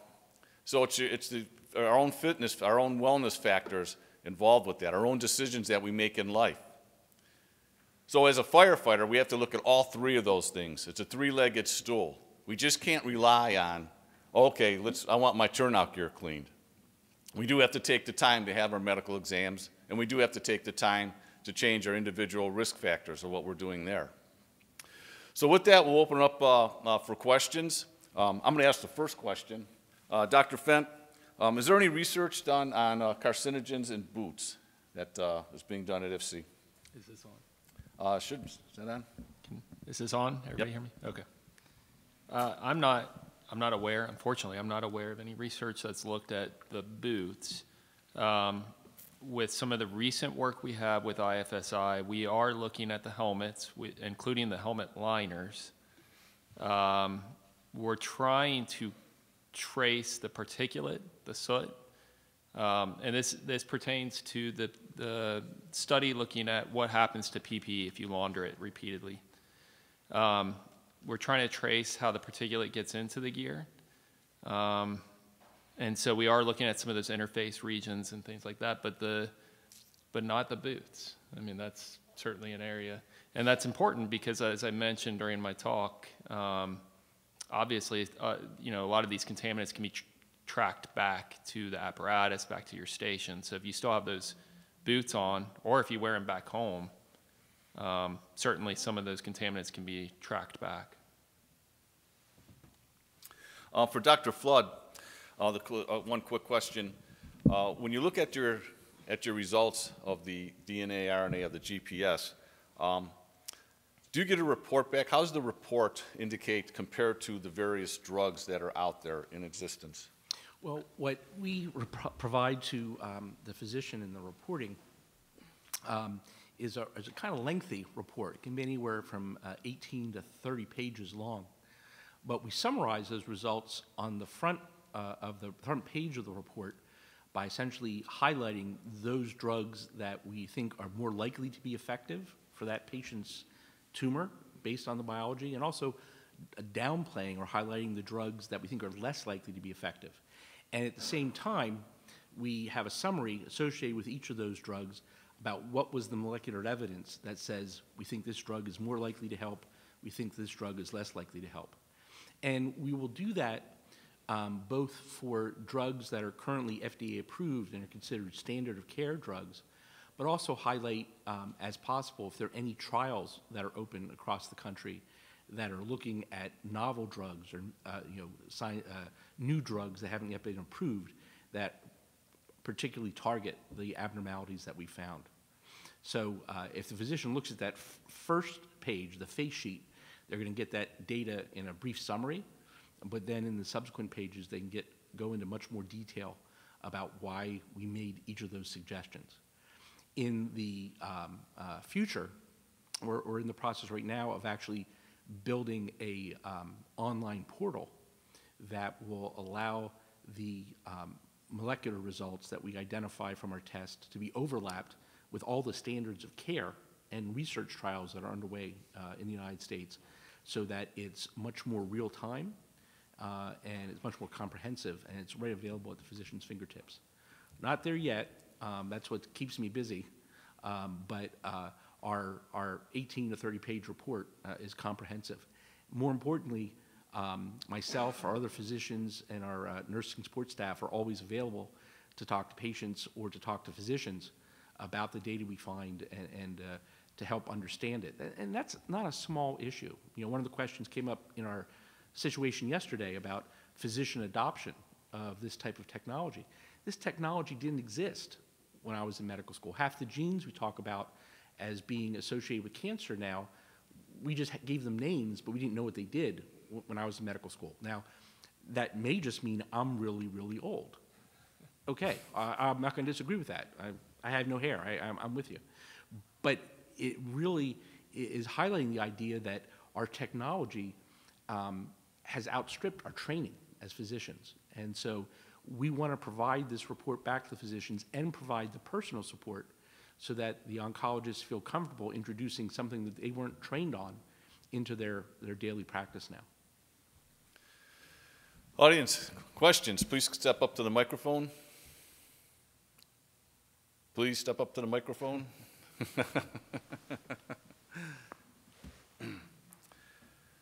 there's a lot of there's been a lot of research, so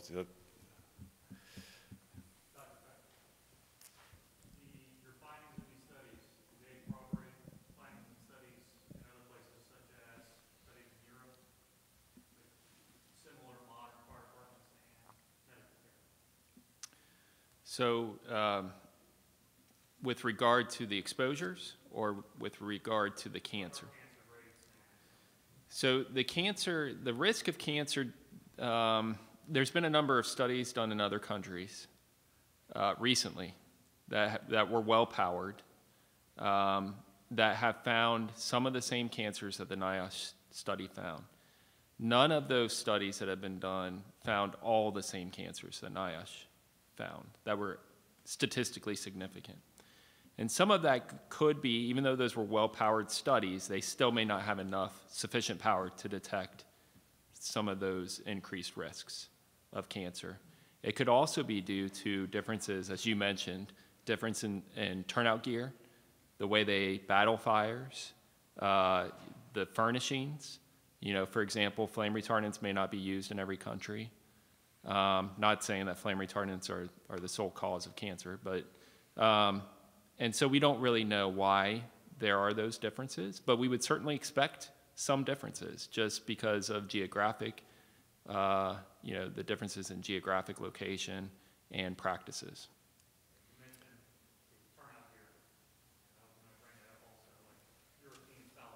Mm-hmm.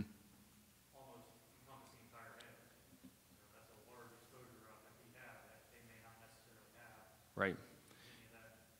So that is, that's something we're certainly interested in looking at. Um, we've, we've got a relationship with uh, a fire de- the fire department, I forget what it's called, um, out of the Netherlands, where they actually sent, when we were doing the PPE study uh, with Illinois Fire Service Institute, they sent us one of the European helmets, and we put it on the mannequins that we were using for that study just to kind of get some pilot data.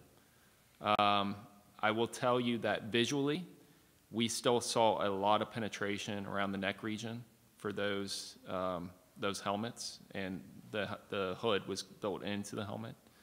Um, and so I, I, think there needs to be more research looking at those helmets. Uh, you know, it's, they're different, for, they're certainly different than the American helmets, but to, you know, it would be hard to say right now whether they're better in terms of preventing dermal exposure. You know, one of the issues with, with the turnout gear, when you look at what drove our turnout gear, and what's our turnout gear designed to do? It's to resist the heat. It's the thermal protective performance, it's the total heat loss.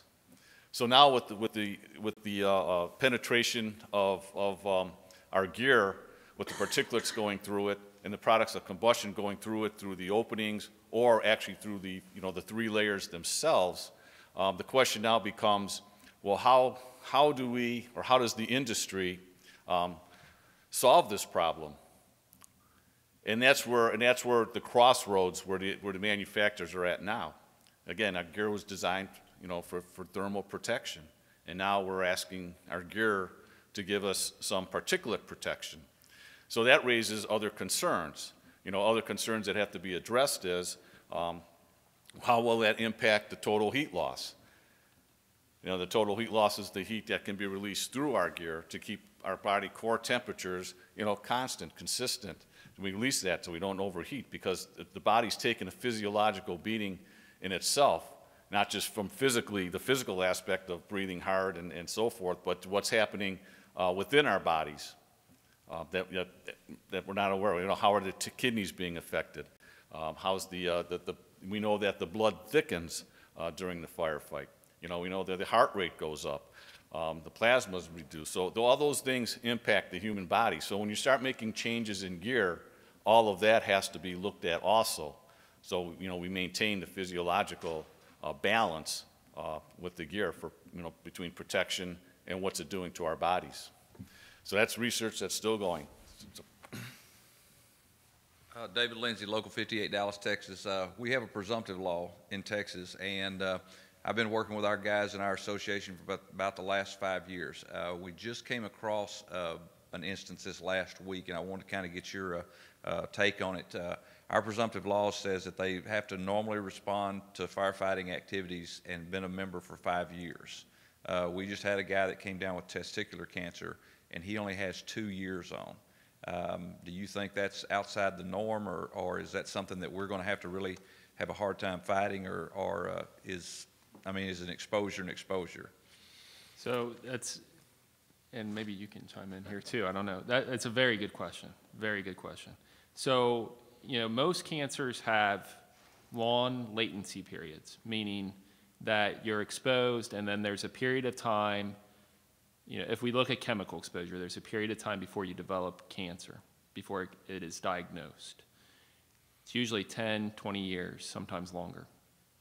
But testicular cancer is unique because testicular cancer typically attacks younger men, which would seem to indicate that either they're exposed at young ages to something that causes the cancer or there's some genetic um, abnormality, or it has a much shorter latency period. And I don't know the answer to that, except to say that it's, pr- it's probably something to explore in depth. Uh, you know, if you had said some other type of cancer, I would say that it probably wasn't occupationally related. But for testicular cancer, there could still be a link, um, but I can't say definitively. Thank you. You're welcome. Hi, uh, Adam Van Gerpen, uh, Los Angeles City Local 112. Um, I, I have two questions. That this this uh, last gentleman's question just uh, brought up another issue.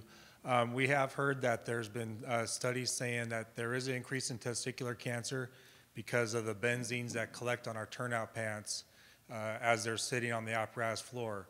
So we we're in LA City. We're pretty fortunate. We have the Plymovents that collect it, but we still have a, a you know everybody still keeps our turnouts outside of the uh, uh, apparatus. So there's some thought of putting them inside the apparatus so that you're not collecting those benzenes on the, uh, you know, in the in the crotch area of the turnouts. But then, but now if if there is anything, uh, you know, you could have it inside the cab. So I don't know if there's been any studies on uh, on that because we've we've heard we hear different things from different people. So um, I guess with regard to testicular cancer and firefighting, so some of the early studies seem to suggest that there was an increased risk in, the, in U.S. firefighters. When NIOSH did the much larger study, that was not found to be an increased risk for testicular cancer. And it was a much, you know, much more well-powered, larger study. Um, so, you know, perhaps firefighting isn't associated with testicular cancer, or perhaps there were specific, I guess, procedures taking place at those departments, those earlier studies, that increase the risk for those firefighters. Testicular cancer is not an extremely common type of cancer. Um, and so it makes it hard when you do epidemiology studies. But, so that, there's part one. Part two was how, I guess, for your station gear, right? How do you store it? Was that the question? Uh, Just storing it, you know, ready to respond. So there's, we, you know, some people say to store it inside, and, we- but, I mean, I, almost every fire station you go into, they're gonna be, at nighttime, they're gonna be sitting outside, ready to respond. Okay. And I, you know, I'm not aware of any uh, research that's really looked at contamination, especially in the crotch area. Um, we did, uh, back in 2010, we did the big dermal exposure study that Larry had mentioned. And we actually did some, uh, some scrotal wipes, or we didn't do it, the firefighters did it themselves. Um, but in any case, we didn't find really any evidence of exposure after firefighting in the crotch area.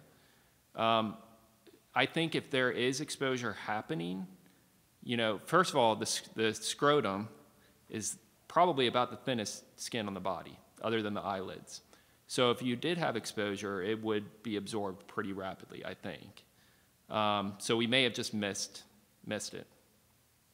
Um, but, so I guess the question is, are you being exposed? I think if the exposure is happening, a lot of it is because of the cross transfer. So your hands are dirty, and then you go to the bathroom. I don't know about the turnout or the uh, station clothing per se as being a source, but you know, it's certainly something that could be explored further. Okay, and then uh, my second question, the original one came with the, uh, you mentioned some of the, uh, the wipes, and in the, in the, in the PowerPoint presentation there, you said there's been a fifty-four percent reduction in the, the, um, the hydrocarbons uh, by using those wipes, but you said that there's, um, so are, is there additional studies being done on that? And then like as far as the, the over-the-counter ones, and then the, the rescue wipes that are specifically made for uh, firefighters and, you know, as So- far as, I know there's a difference in the chemical compounds and this kind uses, uh, um, you know, diff- different uh, components in there, so. Right.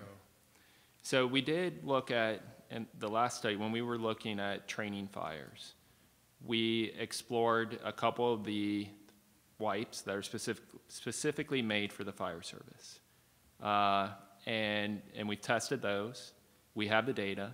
I haven't analyzed it and I haven't published on it, so I can't really give the results. Um, but to say that they are effective, I can say that they are effective. Okay. Um, the baby wipes are also effective, but they're not 100% effective. N- None of them are, okay? So it's important to use them after firefighting if you don't have access to soap and water, but it's also really important to shower as quickly as possible. And then, as far as the ingredients, I'll just tell you my personal opinion. My personal opinion is that for an, a wipe to be effective at removing contamination, it needs to have a good surfactant. It needs to have a surfactant. For firefighters, I think it needs to be a large size and it needs to be durable. And if you have those properties, I think it will do a good job at removing contamination. Um, as far as the natural ingredients are concerned, and you know, there's all this marketing around that, that is a really difficult question to answer because just like it, everything in commerce, there are so many different chemicals and compounds out there, and I cannot say one way or the other if one is more hazardous or less hazardous than another. But I would, in my opinion, those three properties are the most important for an effective wipe. Okay, thank you. While he's coming up to the mic, a, a, a question to throw out is, um, on the, on the PPE, on the gloves, gloves and the hoods, uh, when your research shows that, uh, some of the flame retardants, uh, are remaining in, in, in the hoods, and the, the fact that the gloves are, are absorbing so much of the contaminants, um, is it feasible or is it the right thing to do is to have disposable hoods or throw, get rid of the hoods and get rid of gloves after a major serious fire? I know that's a tough question because it's, economics and, and gloves are expensive and, and what do we do there? But, So, uh, you know, so the, I guess we haven't published on that yet, all right? So the hoods, but what we did is we looked at hoods that had been worn for four fires and not laundered at all, and then hoods that had been worn for four, for fires and laundered after every fire. And by position, we compared the laundered hoods to the unlaundered. We assumed that the laundered hoods would really, our hypothesis is that we wouldn't find any contaminants in it. I mean, they looked really clean after being laundered. In some cases, they were very similar levels of the brominated flame retardants in the laundered hoods compared to the unlaundered. So, something appears to be happening, and again, we have to do some additional work on this because it is a bit controversial, but I will say that there have been other studies that have looked at polyester fabric and they found the same thing with in terms of brominated flame retardant contamination in polyester fabric. It's another synthetic fabric. There appears to be something where the fabric is basically retaining those brominated compounds. And the, the brominated compounds and polyester, I don't know about Nomex, but polyester is, is fat loving. So fat loving compounds want to stick to it. Surfactants theoretically should remove those fat soluble compounds, but for whatever reason, it doesn't appear to be working very well with the hoods. If you had a disposable hood or some you know disposable glove, obviously that kind of circumvents this whole problem. Um, but then you have the cost, you know, aspect to this whole thing. And the other question is, just because we're finding brominated flame retardants in the hoods after laundering, doesn't necessarily mean that this is a, a, a hazard, a concern in terms of toxicity. If, if laundering it with a pretty, pretty good detergent is not removing it, we're not sure is it, is it actually going to be absorbed through the skin then? I mean, is it really just attached to that fabric? Is it really a concern? So there's a lot of questions that still have to be answered as to what it really means in terms of your exposures. You know, there's been a lot of research and still going, a cleaning, uh, cleaning validation uh, studies with the NFPA Fire Research Foundation, uh, with the IFSI's uh, research. The thing is, what's happening is, is it's, it's, like a, it's like peeling back an onion. As you start doing the research, it just opens up more questions and more issues and more concerns and more things to think about. And that's, and that, and that's, and that's where we're at. And that's where we're at. There's still a lot of questions to be answered and a lot of questions that come up every day in the research that no one really thought about before that it comes up. Brother. Hi, uh, Jim from Local 3105. This is for Dr. Flood. I was just wondering to take back to our local, uh, how, do, how do we tell them to initiate the process if they are cancer patients for GPS? Well, I think there's, there's two levels to that question. And what, what local do you say you're with? Uh, 3105. It's Arlington Heights near Chicago. Okay. So, um, uh, you know, we, we started our relationship with the IAFF in 2016, late 2016, early 2017. And so um, we have, uh, you know, kind of an upper level agreement with the, the mother organization, but then we have a number of um, executed agreements at the local or municipality level with a number of uh, um, specific localities as well. So I, I, think that there's two ways to approach this. One is the organizational method where um, we can talk or work with you or your other members of your lo local to um, look at formalizing support for GPS cancer as part of your benefits, whether it's part of an IAFF trust in your area or whether you're insured by your municipality. Either way, our um, group uh, is, is happy to work locally to, to get that as a formal part of your um, benefits package. The other approach is just the more general approach, and this is really open to not just IAFF members, but to all patients, um, that we have a general website, we have a general phone number where um, people can reach out to us uh, to get the information around GPS cancer testing, get it forwarded directly to the physician or working with our nurses, we can identify physicians in that area we've already worked with who have ordered our test. I'd also add that um, for the IAFF, we actually have a specific web page um, and, and, process uh, to specifically help uh, members of the IAFF. Um, in the back, I'm going to point out uh, three of my colleagues, um, Russ Johnson, uh, Ian Donovan, and Mark Jackson. Uh, all three of those uh, folks work with um, uh, both the national and the local IAFF groups um, to facilitate either local agreements or can get you tied into the right people to make the test happen on, on a person who just needs it. Um, So uh, we, we had a booth up the last few days.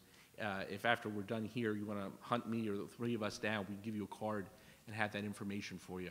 I'm sorry I don't have a slide with that uh, to present it, and that, that was my oversight. Brother? Good afternoon. Uh, Steve Leclerc, uh, Local 385, Omaha, Nebraska. Um, It's kind of a general question, so whoever can answer it, I'm not even sure if I'm asking the right question.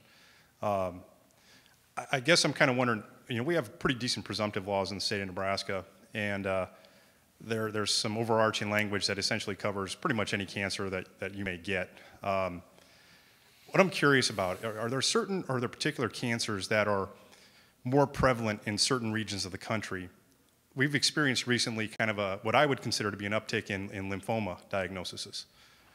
But I don't know I don't know if that's in line with what's happening regionally or if it's out of line with what's happening regionally. And is that information available anywhere? Is that information even documented anywhere? Uh, because I'd like to have some empirical data that says, you know, lymphoma is actually very uncommon in this Midwestern region versus it's very common and you know, the, the, the, downside of our presumptive law is that it is a rebuttable presumption. And I just don't want anybody being cute with it and saying, you know, this guy's got lymphoma and yeah, it's unfortunate and he's a firefighter and he died, but guess what? That's just general population numbers. Okay, this for a second. When you ask this question, are you asking it that you've seen a, a sudden increase in lymphoma amongst your, your members? Yes, sir. Or just in the area? It, um, amongst, well, well, that's the thing is I don't know. Okay, all right. Uh, So four, so four, four diagnoses in the last six months. Okay. So um, uh, I'm going to practice epidemiology without a license now, and he'll correct me.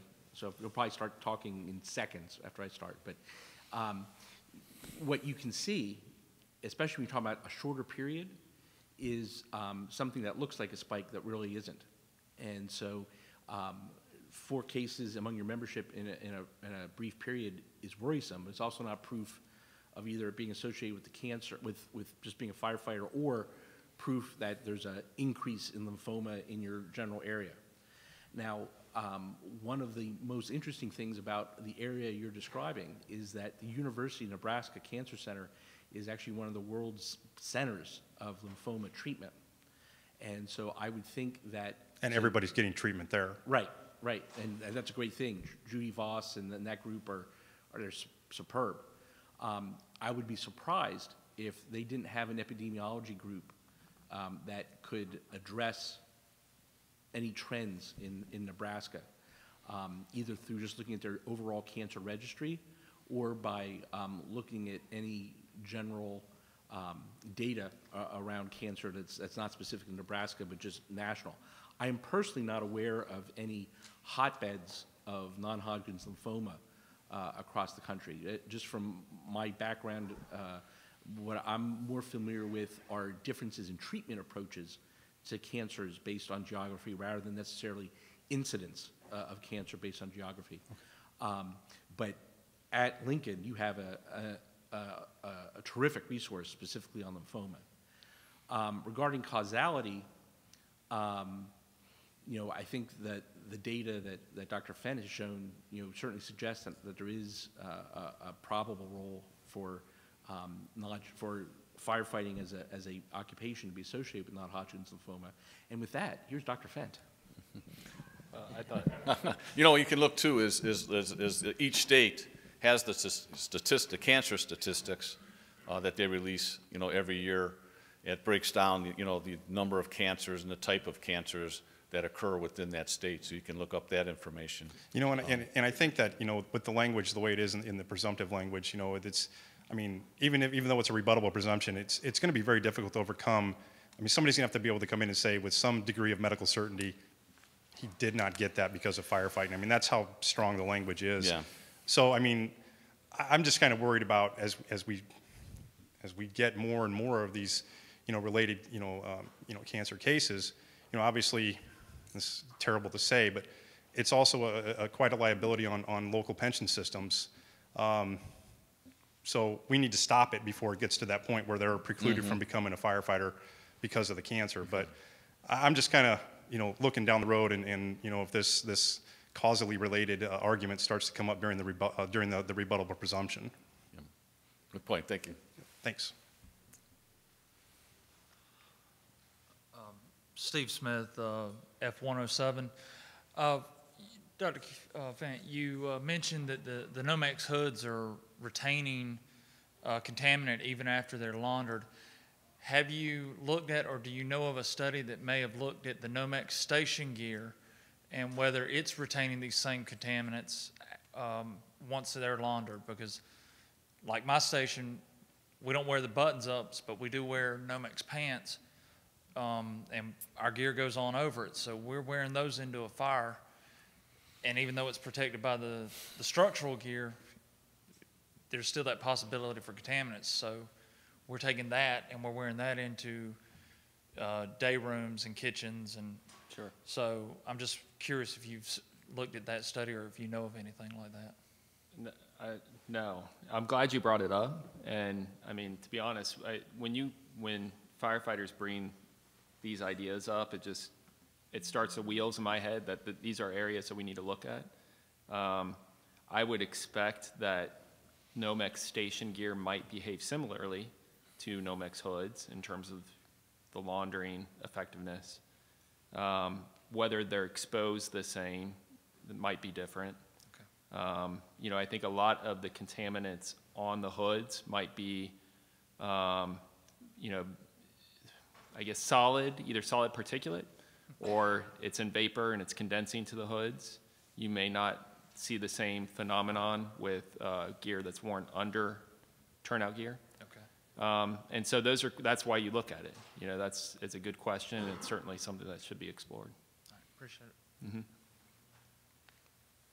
it. Afternoon, uh, Brad Lindgren from Local 3105 as well. Two questions, kind of looking for some recommendations perhaps.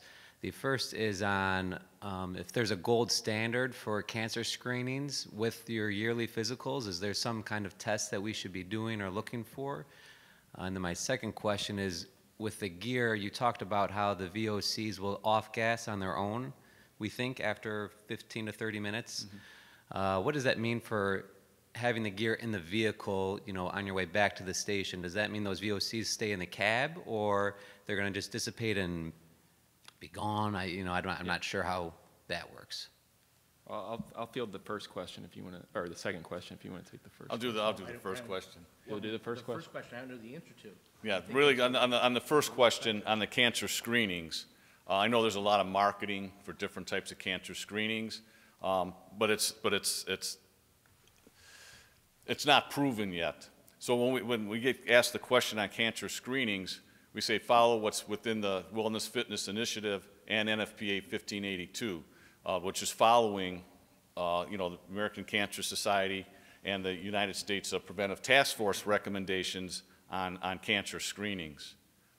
Because, you know, these other screenings, you may end up with, you know, false positives, you may be, um, uh, you know, whether insurance covers, your doctor says, well, I don't know anything about this type of test that's out there. Or if they do say, well, well, we're gonna have to put you through some invasive testing, and that invas- invasive testing uh, may do damage to your body when it was not necessary to do that. So that's the recommendation that we have on, um, uh, on the cancer screenings. The second one? So the second question about the VOCs. Uh, VOCs are extremely volatile. And so they'll evaporate within about, you know, most of them will evaporate within the fif- first 15 to 30 minutes. If they're in your apparatus, they're just going to get caught up in the, you know, circulation system and then they'll eventually dissipate. So they don't necessarily stick around uh, inside the apparatus or inside your station if, you know, depending on, you know, if you're, if you go back to your station quickly. The semi-volatiles, however, so like some PAHs, for example, are semi-volatile, which means they're much more persistent. They evaporate, but at a very slow rate and produce very small concentrations. That'll take a lot longer to dissipate. And so it's more of a long-term concern, the semi-volatiles. And nobody, to my knowledge, has really looked at that yet. You know, uh, we'll take one more question, and we'll wrap it up. And while he's walking up, when I mentioned the NFPA 1582, you get the 2018 editions is the one you want to look at, because there's a lot of differences between the previous edition and the, and the 2018 edition. Sir, last question. Dean Yager, F-105.